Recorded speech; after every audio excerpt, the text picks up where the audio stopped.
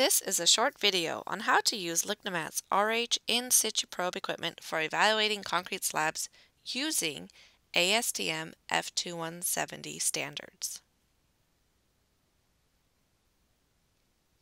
First, prepare the hole.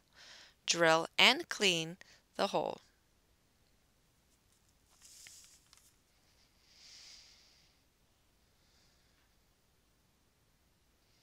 Place the sleeve into the prepared hole, making sure it is secure.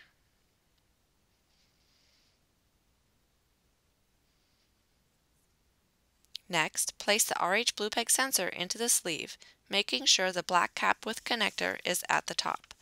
Simply drop in and seal. Once you are ready to take a measurement, remove cap, plug 3mm connector into RH Blue Peg, and secure with inner and outer cylinder.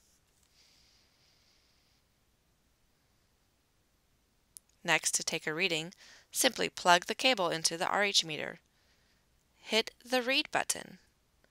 Sensor number and percent %RH will be shown. Next, hit hold. To toggle between RH and temperature, hit the down arrow for temp and up arrow for RH. To turn meter off, hit read button twice. Now to remove cable from plug without taking sensor out, Hold the inside cylinder and pull cable until it disconnects from RH Blue Peg. Remove all of the cable from the sleeve. If you want to remove Blue Peg from sleeve, simply plug cable into RH Blue Peg and remove from hole.